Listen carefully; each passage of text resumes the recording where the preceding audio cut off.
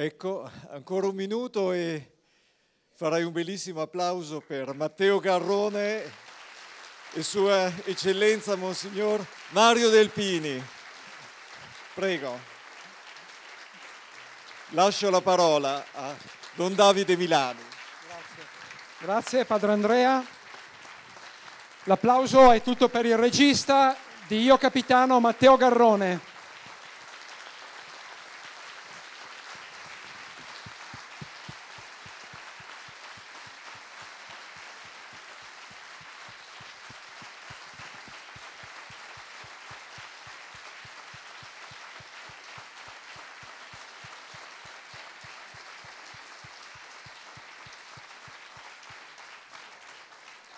Ringraziamo per la sua presenza anche l'Arcivescovo di Milano, Monsignor Mario Delpini, a cui do il microfono.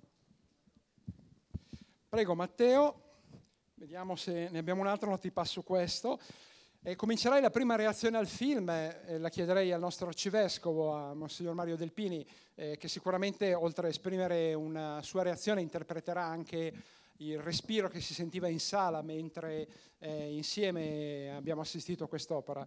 Eh, Monsignor Delpini, come, cosa le ha provocato questo film? Come, come l'ha visto? Che, che reazioni provoca in lei? Ma il cuore dell'uomo, ecco, questo, ogni viaggio è un viaggio dentro il cuore dell'uomo e quindi eh, questo viaggio così drammatico e così pieno di crudeltà e di solidarietà, ecco, mi, mi dice ma come è fatto il cuore dell'uomo che può essere capace di forme di solidarietà così eroiche, così audaci ed essere capace di crudeltà così spietate. Ecco il cuore dell'uomo. Il cuore dell'uomo anche così capace di, di sognare, di, di trasfigurare la realtà. Ecco, io eh, questa è stata, credo, definita anche un'odissea, questo viaggio eh, che aveva una meta e che, aveva, che ha dovuto incontrare eh, tanti pericoli, tante cose drammatiche, ma è che, ecco, credo che eh, ci parla, eh, almeno a me, la, la cosa che eh, suscita è proprio questa idea di dire ma come siamo fatti, come è possibile essere così buoni e così cattivi? Cosa, cosa c'è nel cuore dell'uomo perché possa sognare un, un, un tale sogno da, poter, da, da mettere a rischio la vita?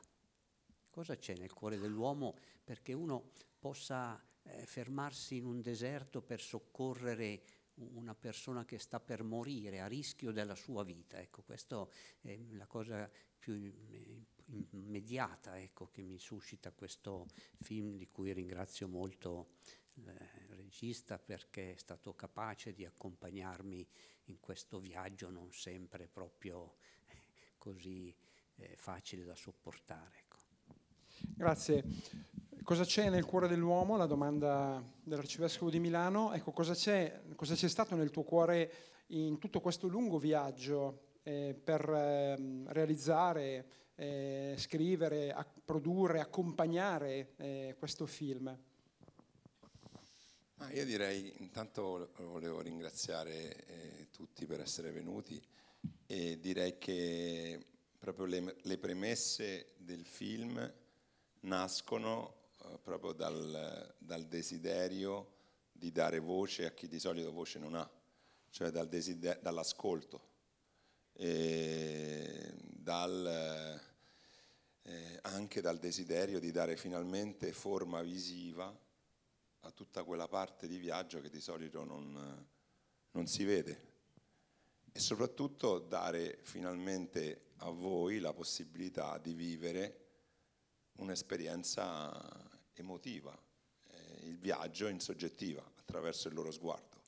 Quindi un controcampo, abbiamo messo la macchina presa dalla, dall'altra parte, di solito siamo abituati sempre a vedere le immagini ormai da anni no, di queste barche che arrivano, quando riescono ad arrivare, e, e la rituale conta dei vivi dei morti e, e invece dietro questi numeri eh, cerchiamo di, di, di, di raccontare delle persone de, con dei sogni eh, legittimi, eh, come hanno tanti giovani, solo che questi giovani eh, crescono all'interno di un sistema che è un sistema ingiusto, perché per, consente a dei loro coetanei di poter andare liberamente, magari nei loro paesi in vacanza, mentre non consente a loro di potersi muovere e andare a scoprire eh, degli altri paesi. Tra l'altro paesi che loro purtroppo vedono, vedono quotidianamente perché la, la, globalizzazione è arrivata forte anche lì purtroppo, quindi in qualche modo loro hanno accesso come i giovani, come i nostri figli, come hanno accesso ai social, hanno dei telefoni, vedono su Instagram, su TikTok come tutti i ragazzi. Vedono il nostro mondo e questo mondo che vedono dal telefonino, dalla televisione, è un mondo comunque che fa promesse, è un mondo luccicante, non vedono quello che c'è dietro le quinte. E quindi molti di loro, non tutti, il 70% della popolazione in Africa sono giovani, a differenza nostra. Per fortuna non tutti, però una, una buona parte eh, ha il sogno di venire qua. Eh, poi molti di loro, eh, come sappiamo, arrivano qua, eh, pochi ce la fanno, molti altri poi scoprono la, di- la disillusione, scoprono che quello che c'è dietro, dietro, le quinte. Ma questo è un altro discorso, questo sarebbe l'inizio di una nuova odissea. E quello che abbiamo cercato di raccontare insieme a chi ha vissuto questo viaggio, perché questo è un film che io ho fatto insieme a loro, Diciamo, io sono stato un tramite, mi sono messo a disposizione loro per cercare di raccontare, cercando di essere autentico, di, raccontare la loro, la loro, storia il loro viaggio. E, ho, e l'ho fatto con loro, sia in fase di scrittura che in fase di ripresa. Quasi tutte le persone che avete visto nel film, dietro gli attori principali, sono quasi tutte persone che realmente hanno fatto quel viaggio realmente hanno attraversato il deserto a piedi o hanno subito le torture in Libia o, o hanno cercato di attraversare il Mediterraneo. Quindi è stato un film corale, eh, per me diciamo, molto difficile perché sono entrato in una cultura che non era la mia e, e dirigevo gli attori in una lingua che per me era incomprensibile, quindi andavo spesso a fiducia. Speravo che dicessero le cose che più o meno avevamo scritto. Però è un film che nasce sulla fiducia reciproca, quindi diciamo ci siamo fidati gli uni degli altri eh, ed è andata bene. Ecco. Quindi penso che siano queste le premesse, cioè nasce proprio da un desiderio di, innanzitutto di ascolto e di dar forma visiva a quello che di solito non si conosce. E qualche settimana fa, dopo che ci eravamo visti, andando a presentare il film, io l'ho presentato in molte sale e una signora si è avvicinata, mi ha fatto i complimenti del film, mi ha detto lei è un regista spettatore. Dico, ah, non ha mai detto nessuno regista spettatore. Però capito che c'era qualcosa di vero in questa cosa che mi ha detto, perché io effettivamente, per ricongiungermi alla domanda, effettivamente io molto spesso mi sono ritrovato sul set a essere il primo spettatore, cioè davo azione ma loro in qualche modo mettevano in scena qualcosa che, avevano, che era legato al loro vissuto, quindi ricreavano qualcosa che era legato al loro vissuto e che per me era del tutto nuovo, inaspettato, quindi io effettivamente non cercavo di intervenire, ma cercavo in qualche modo di creare le premesse perché qualcosa potesse riaccadere. E, e questo è stato un po' il, il mio approccio. Nella liturgia dell'Eucaristica di oggi, nell'Eucologia, nel prefazio, per chi appunto oggi ha celebrato l'Eucaristia, c'è questa frase, mentre la pronunciavo alla prima messa ieri sera, pensando all'incontro di oggi, mettomela appunto perché vorrei sentire la reazione dell'arcivescovo dopo che ha visto il film. Dice questo passaggio del prefazio di oggi, nell'umanità del tuo figlio hai ricreato l'uomo perché la morte non deformasse in lui la tua immagine viva. Ecco, qui vediamo l'immagine dell'uomo deformata, eh, si fa fatica a, a riconoscere, eh, almeno in prima battuta, che in quei volti deformati eh, dalla sofferenza del viaggio, dalla violenza umana, eh, ci sia l'uomo immagine di Dio. eh, non perché Dio sia ritratto, ma perché l'uomo ha fatto di tutto per offuscare questa immagine. Ecco, qui ci sono la serata organizzata da tante realtà della nostra diocesi che proprio di accoglienza si occupano. E mm, molto spesso passa quasi l'idea che l'accoglienza, eh, che lavorare appunto con, con, gli immigrati, con i profughi, con i rifugiati, con chi arriva sia lobby di qualcuno nella Chiesa. Vabbè, bisogna, le cose più importanti stanno altrove, poi questi hanno la passione e non, non trovano niente di meglio di fare, scusate se banalizzo, che fare accoglienza. Ma appunto il prefazio di oggi e anche la verità della nostra fede ci dice qualcosa di più. Innanzitutto quando tu dici il prefazio non devi distrarti a pensare al cinema, ecco, devi, devi, perché è una cosa... Però, però perdoniamo, ecco, adesso non è... Non so, ecco, io quando ho detto quel prefaziolino mi è venuto in mente questa serata. Però, però, però adesso eh, possiamo perdonarlo, ecco, il prevosto di Lecco ha talmente tante cose da pensare. No, però ecco, io credo che questo film eh, in molti aspetti dice che c'è l'immagine di Dio nell'uomo, nella donna, cioè molte cose eh, che sembrano eh, veramente eh, qualcosa di divino, ecco, cioè qualcosa che non si può giustificare con un argomento umano, no? questo, anche questo muratore che adotta eh, questo mm, sedicenne e, e, e lo, lo, tratta come un figlio. Ecco, queste sono brani di questo racconto che dicono veramente così, che per quanto l'uomo possa essere anche cattivo e, e negare eh, la sua verità profonda, però eh, questa verità eh, resiste, no? quindi eh, ricre- Dio ricrea in noi la sua immagine attraverso il figlio e quel prefazio dice anche come dalla carne di Adamo è venuta la morte, così dalla carne del Cristo è ritornata la vita, è stato eh, riplasmato la, l'umanità divina, ecco l'immagine divina di ogni uomo.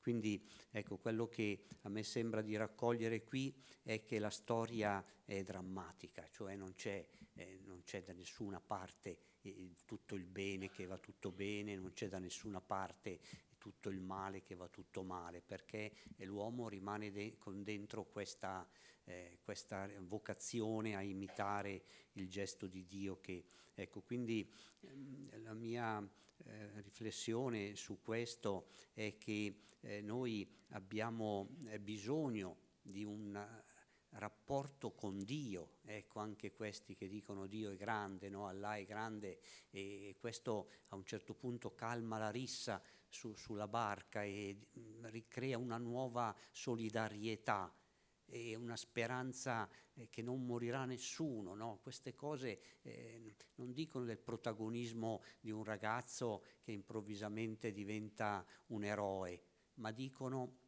di una eh, potenza della docilità. Ecco, questo eh, mi pare il senso della nostra fede. Ecco.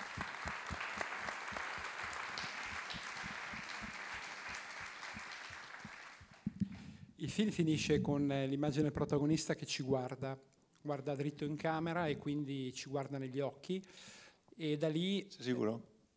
Come idealmente, non proprio l'ultima scena, però è come se da quel momento eh, cominciasse il nostro film, cioè comincia la nostra vita, siamo chiamati in causa noi. E mi ha colpito a proposito delle reazioni del film, dei ragazzi, i ragazzi delle scuole che lo stanno vedendo, eh, che dicono ma noi queste cose non le sapevamo.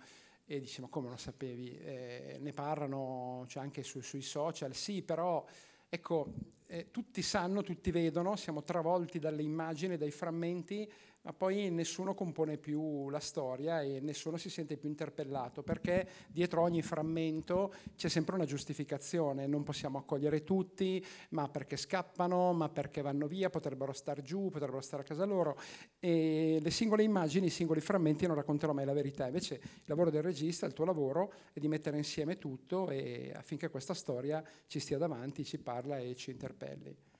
Sì, penso che, che sia mio, il mio lavoro è quello appunto di raccontare, di raccontare delle storie. E, e, e penso che al di là delle informazioni, io, io credo che poi di fondo in realtà le informazioni sono la parte per certi versi eh, meno sorprendente, nel senso che più o meno si sa, eh, secondo me anche i ragazzi sanno più o meno che si muore in mare, che si muore durante questo viaggio, magari non l'hanno mai visto, ma quello che secondo me poi fa la differenza è che questi ragazzi attraverso questo racconto, intanto è un racconto romanzesco, è un, è un racconto d'avventura e quindi accessibile ai giovani. E entrano emotivamente in empatia col protagonista, che è un coetaneo, e tra l'altro ha dei desideri che sono molto vicini ai loro, ha voglia di viaggiare, ha voglia di cercare di coronare il suo sogno di fare musica, eh, magari cercare di avere opportunità migliori per poter aiutare poi la famiglia, ha, ha dei genitori che si preoccupano, tutte cose che in qualche modo i, i ragazzi possono riconoscere e si riconoscono, quindi in realtà scoprono che sempre ritornando a quei numeri, dietro quei numeri che vedono sui barconi ci sono dei, dei ragazzi come loro, che vivono un'avventura epica, perché poi loro sono i veri portatori oggi dell'epica contemporanea, vivono un'avventura epica e soprattutto che hanno la forza, questa carica vitale, una carica di conoscenza, di voglia di conoscere, che li spinge a combattere contro un sistema ingiusto a combattere contro, contro la morte e combattere per la vita. E secondo me è una cosa che rimane forte del nostro personaggio di Sedù, che è interpretato straordinariamente. Il protagonista è proprio che rimane innocente e puro sino alla fine.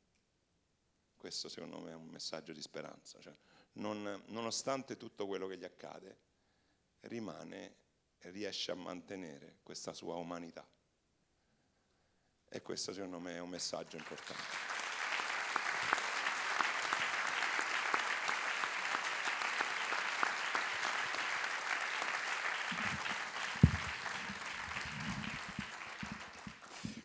Il cinema fa un racconto, in modo particolare la cifra stilistica di Matteo Garrone in questo film, eh, ma l'abbiamo visto anche in Pinocchio, in reality o nel racconto dei racconti, è quello di appunto trasfigurare la realtà quasi nella fiaba, ci sono molti toni appunto fiabeschi dentro il film e questo permette a noi appunto di entrare in empatia, di non sentirci giudicati per quanto chiamati in causa. E vorrei chiedere all'Arcivescovo proprio questo, a proposito appunto del tema de- delle migrazioni, di queste persone che, che migrano, che bussano alle nostre porte. Non sempre la comunicazione fa il proprio dovere, il modo con cui eh, questo fenomeno è raccontato molto spesso eh, pregiudica anche i nostri comportamenti. Forse servirebbe un modo, come dire, così per raccontare, per descrivere questo, questo fenomeno in sala ci sono persone che questo racconto lo possono fare perché queste storie le conoscono, sono è una delle pagine più belle della nostra chiesa che è bellissima, appunto tutte queste persone, queste realtà che fanno accoglienza. Ecco, abbiamo una responsabilità anche noi, i mezzi di comunicazione, la politica, eh, nel raccontare eh, il tema delle migrazioni o dei migranti, delle persone, non stiamo parlando di fenomeni, ma di persone. Questo cosa che mi mm, sempre mm, fa soffrire, no? è questa eh, ottusità del nostro contesto contemporaneo che non sa eh, cosa pensare di questo. No? Quindi questa cosa che diceva il regista, cioè di ridurre tutto a dei numeri, a delle notizie, dietro le quali eh, è chiaro che un numero dice sono morti in dieci, sono morti in mille, per chi ascolta le comunicazioni suscita emozioni passeggere, non, non riesce a... cioè il numero non, non dice niente.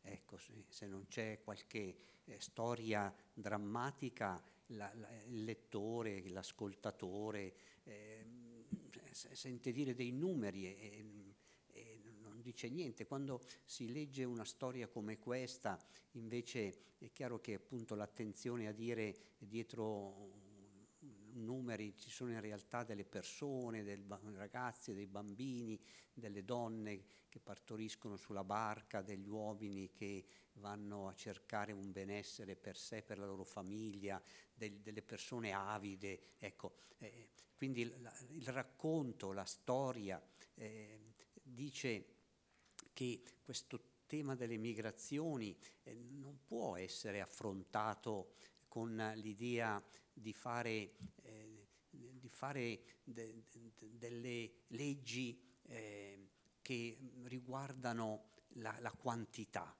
Ecco, la, la, legge deve essere per tutti naturalmente, però eh, su questo tema a me sembra che c'è una, una, grave responsabilità sia della comunicazione, sia della politica europea, sia della riflessione filosofica e, e anche la, la, Chiesa cosa dice di queste migrazioni? La Chiesa non, anzitutto cancella la, la, la, parola eh, stranieri, la parola extracomunitari, sono parole che non sono cristiane, non si possono pronunciare in chiesa, perché in chiesa nessuno è straniero. Quindi il concetto... No, però... Ma, ma questo, questo, però è un principio da cui partire, cioè non è uno slogan, no? cioè è un, un punto su cui riflettere e, e, quello che si dice la globalizzazione ha, ha, invaso anche l'Africa e ha fatto partorire dei sogni eh, improbabili, eh, forse eh, ha bisogno di una conversione a una eh, globalizzazione che il Papa chiama fratelli tutti, ecco, nessuno è straniero perché la vocazione dell'umanità è ad essere una fraternità.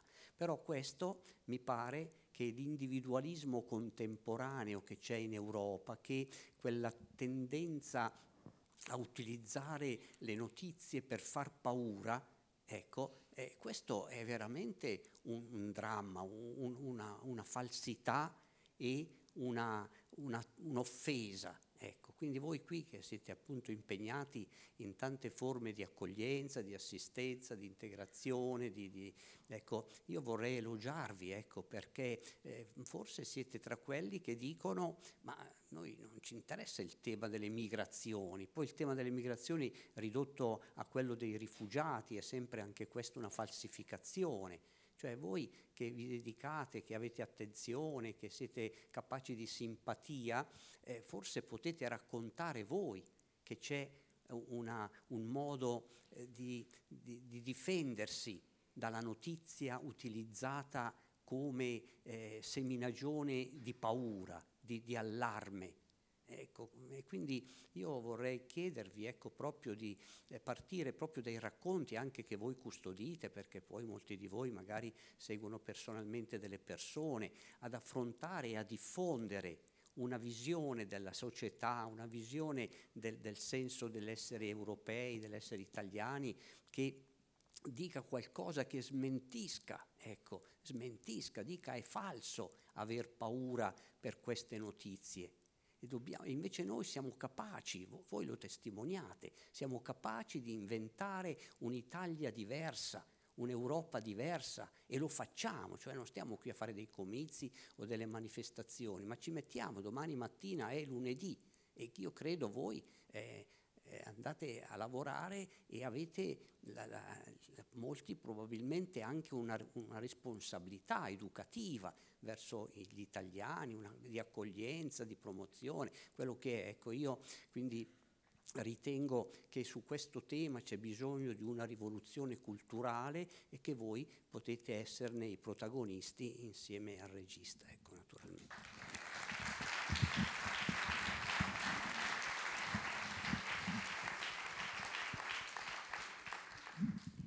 Questa domanda la faccio a te perché se la faccio all'arcivescovo mi sgrida un'altra volta.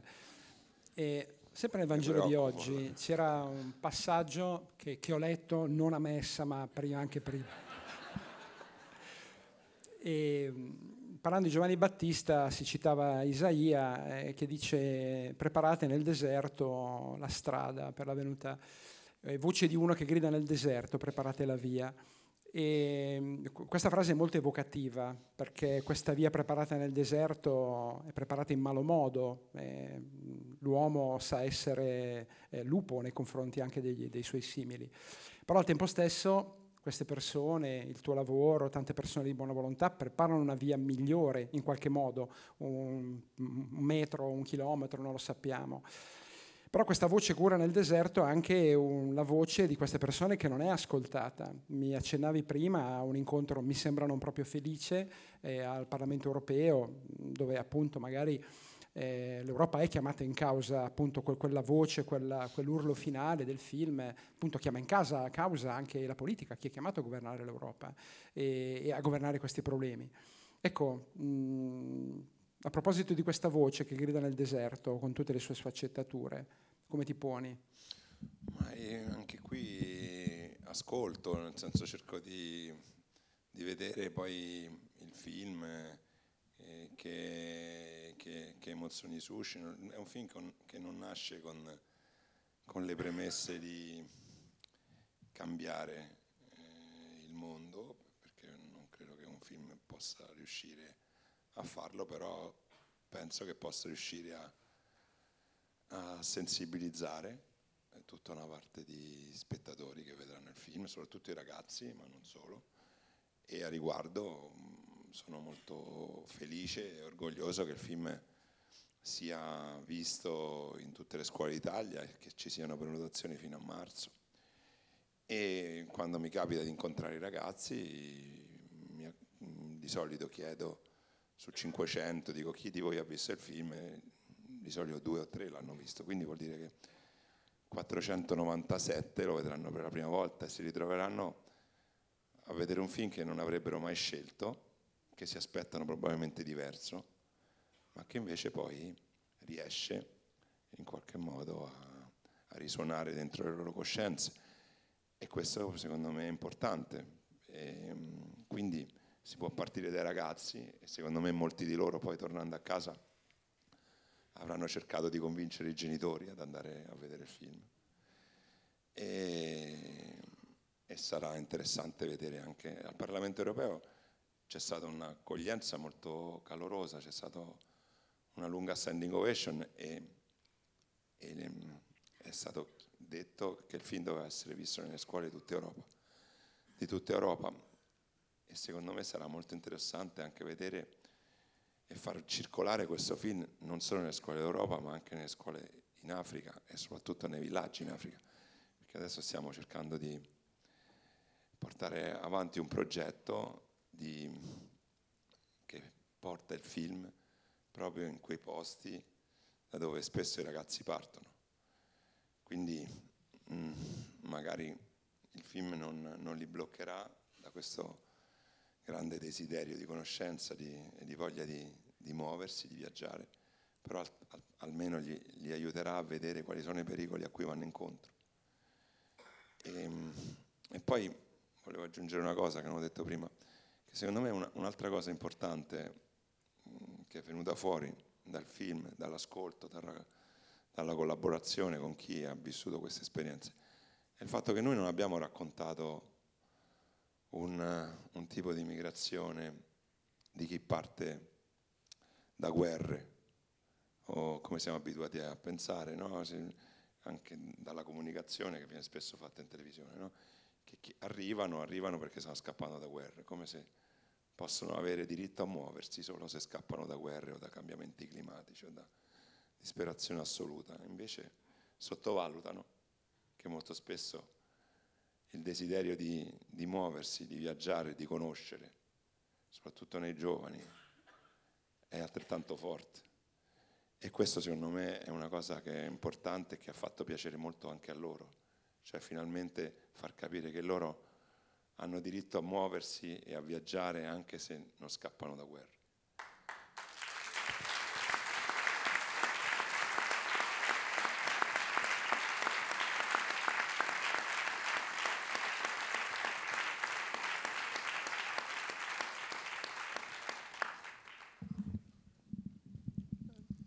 Il film ha vinto a Venezia il Leone d'Argento, il premio alla miglior regia, il protagonista ha vinto la, mm, la Coppa Mastroianni per eh, la rivelazione l'attore del futuro, sei, in, eh, sei, il candidato italiano per eh, la corsa agli Oscar, i premi riconoscono sicuramente il valore della tua opera, ma anche eh, sarà un modo, noi appunto auguriamo tutti i premi possibili, anche per far circolare ancora più il film, per sostenerlo, per farlo diventare una, una, una visione obbligatoria, obbligatoria nel senso di quelli irrinunciabili, i premi servono anche a questo.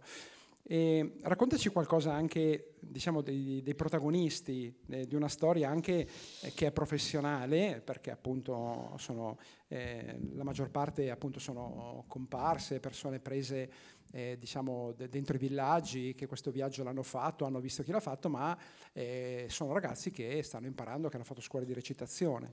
Sì, no, la, la, la, nel film diciamo, i ruoli più importanti sono... Ehm, diciamo, gli, gli, interpreti sono attori professionisti, quasi tutti, e io mi riferivo alle, alle figurazioni, no? soprattutto alle comparse. I due ragazzi, i due protagonisti, eh, Seydou e Mustafa, sono due ragazzi che vengono da, da Dakar, Seydou in realtà da un, una cittadina vicino a Dakar, a un'ora da Dakar, che si chiama Ties. E um, viene da una famiglia di attori, la mamma e la sorella sono attrici, lui coltivava questo così, mm, amore per la, per la, recitazione, ma ancora di più amore per il calcio. Lui in realtà sognava di fare il calciatore, quindi diciamo, si è ritrovato a fare l'attore, ma continua ad avere il sogno del calcio. E, mentre Mustafa faceva una scuola di teatro a Dakar. Entrambi, come, come tanti giovani, avevano il sogno dell'Europa e quindi di, di conoscere di conoscere quest'altra parte eh, di mondo e, e non c'erano mai stati, non erano mai usciti dal Senegal, quindi eh, avevano in qualche modo gli stessi desideri dei personaggi che interpretavano, non sapevano nulla del viaggio, sapevano, come tanti lì, che si muore eh, durante questo viaggio, ma non, non avevano mai visto nulla, quindi si sono ritrovati a vivere questa esperienza in prima persona. Io ho l'abitudine poi di girare in ordine cronologico e in questo caso non ho, non ho voluto dire a loro, a loro la, la, non ho voluto mm, raccontare la storia, non, non gli ho neppure fatto leggere la sceneggiatura. Quindi lasciavo che loro, le persone, se due Mustafa, i personaggi che interpretavano, andassero in parallelo avanti per questa avventura giorno per giorno. Cioè loro non sapevano se ce l'avrebbero fatta o no ad arrivare in Italia. E quindi continuamente avevano questa aspirazione, questa tensione e anche questa paura di non farcela, perché se non ce l'avrebbero, se avessero fatte i personaggi non ce l'avrebbero fatta neanche loro.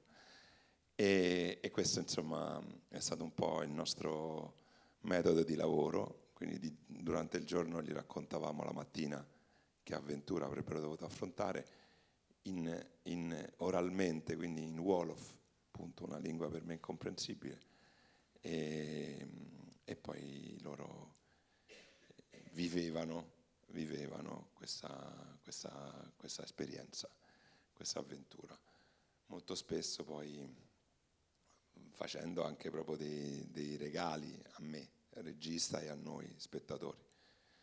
Penso che il primo piano finale di Sei tu sia un momento che capita raramente nella vita di un, di un regista, insomma un dono. Che, lì è accaduto qualcosa che lui ha, ha, rivissuto tutto il suo viaggio, ha rivissuto tutta la sua esperienza che ha, che ha vissuto durante quei mesi, tutto quello che ha, che ha visto e, e, e, ci ha regalato questa, questa grande emozione. Quindi penso che la vera forza del film poi sia proprio la capacità che hanno eh, gli attori, in questo caso sei di riuscire veramente ad arrivare alle emozioni del, del pubblico, a farti vivere delle emozioni e arrivare al cuore dello spettatore.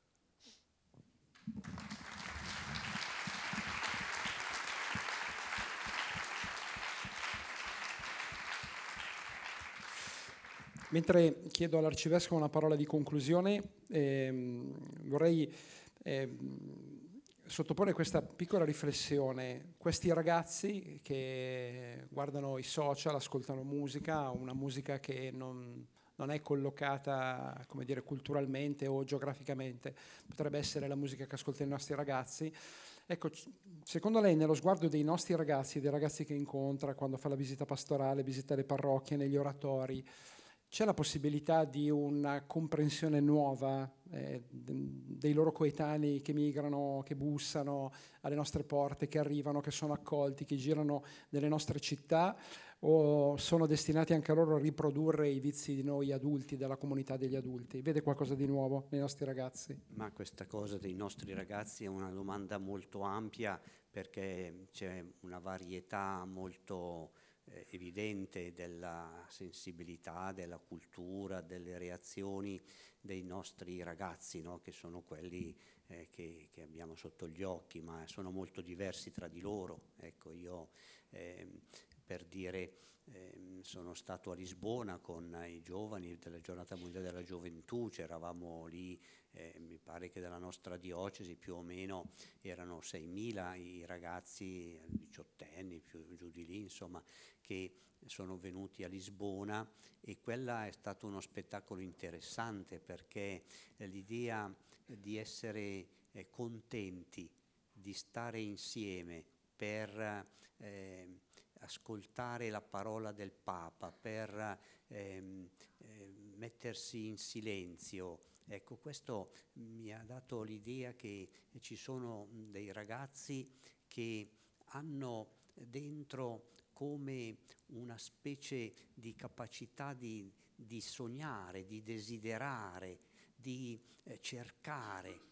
Ecco, che per i nostri ragazzi io penso che una cosa che manca in molti nostri ragazzi è proprio questa idea di avere un desiderio per cui sono disponibili a fare dei sacrifici. Ecco, questi due eh, che hanno sognato un'Europa fantastica, naturalmente eh, non so che cosa abbiano visto dell'Europa perché eh, se guardano i nostri telegiornali io credo che vogliono scappare più giù ancora de- de- dell'Africa perché dicono se, tu, se, tutte quelle cose lì succedono in Italia come si fa ad andare in Italia. Però ecco, c'è un mito no, che, che finisce per essere persuasivo. E invece i nostri ragazzi qui qualche volta in, in cioè questa cosa mi impressiona, no? di quelli che ne studiano né lavorano, che in una fascia di età in cui dovrebbero essere a scuola o imparare un lavoro. Quindi vuol dire ci sono i ragazzi che vanno a Lisbona, ci sono i ragazzi che non escono di casa, ci sono i ragazzi che fanno la banda per andare in giro a fare disastri o a, farsi, a pestarsi tra di loro. Ecco, eh, per cui ecco, il concetto di nostri ragazzi mi sembra molto vario. Io eh, evidentemente sono quello che scommette sulla, eh, sul sale, sul lievito. Scommetto che eh, il futuro di questi nostri ragazzi sarà quello eh, sognato da quelli che si lasciano attrarre da una missione, da una vocazione, da un desiderio di aggiustare il mondo. Ecco, e questi magari sono pochi, magari sono tanti, magari fanno notizia, magari nessuno ne parla, però io credo che noi possiamo avere eh, fiducia nell'umanità e nel suo futuro perché ci sono ragazzi così, capaci di sognare, di fare dei sacrifici per realizzare i loro sogni e capaci di avere una fiducia nella vita, nessuno morirà, dicono, no? arriveremo, ecco, una fiducia nella vita che permette di attraversare il deserto. Ecco, questo io penso che eh, possiamo raccogliere come eh, un messaggio di, di incoraggiamento a essere capaci, noi forse qui siamo tutti adulti e una cosa che mi sta molto a cuore è che gli adulti, noi soprattutto eh, quelli che sono mm, vecchi come me o della mezza età, ecco, siamo capaci di infondere nei ragazzi il desiderio di diventare adulti, perché se gli adulti continuano a lamentarsi di tutto e a dire che tutto va male e che non c'è niente di promettente, io dico ma come fanno questi ragazzi a desiderare di diventare adulti? E io vorrei proprio che noi sentissimo la responsabilità ecco, di infondere nei ragazzi il desiderio di diventare adulti, non per diventare come noi che abbiamo i nostri limiti e siamo di una generazione passata, e però di eh, essere capaci di diventare adulti, ecco, quindi cioè di, di, di assumere delle responsabilità, di, di, essere capaci di piantare eh, la speranza là dove vivono. E questo mi sembra il compito che abbiamo come adulti, il compito che hanno gli educatori, i preti, i catechisti, quelli che, che sanno parlare ai ragazzi d'oggi e sanno insinuare in loro l'idea che la vita meriti di essere vissuta e che eh, la, diventare adulti non è un pericolo da cui difendersi, ma è una vocazione da realizzare. Ecco, questo vorrei augurare ai ragazzi nostri e a tutti noi.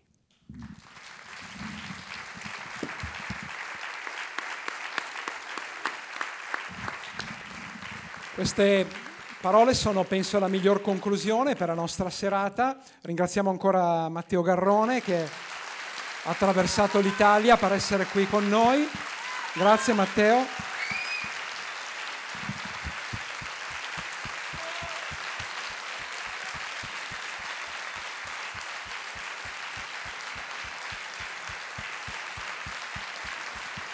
Io non lo fermo l'applauso.